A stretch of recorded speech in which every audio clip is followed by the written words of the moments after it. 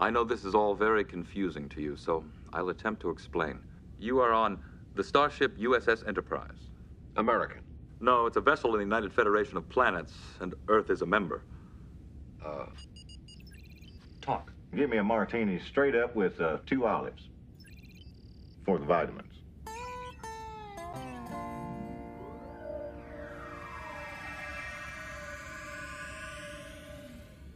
I might just get to like this place. Uh, let's see if the Braves are on. How do you cut on this TV?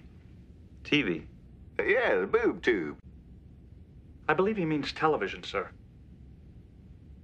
That particular form of entertainment did not last much beyond the year 2040. Well, what do you guys do? I mean, you don't drink and you ain't got no TV. It must be kind of boring, ain't it? That's what all this is about.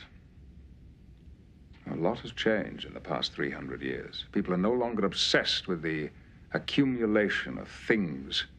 We have eliminated hunger, want, the need for possessions. We've grown out of our infancy. Here's what I propose. You can't stay on the Enterprise, but I have arranged for us to rendezvous with the USS Charleston bound for Earth. They will deliver you there. then what will happen to us? There's no trace of my money. My office is gone. What will I do? How will I live? This is the 24th century. Material needs no longer exist. Then what's the challenge? The challenge, Mr. Offenhouse, is to improve yourself, to enrich yourself. Enjoy it.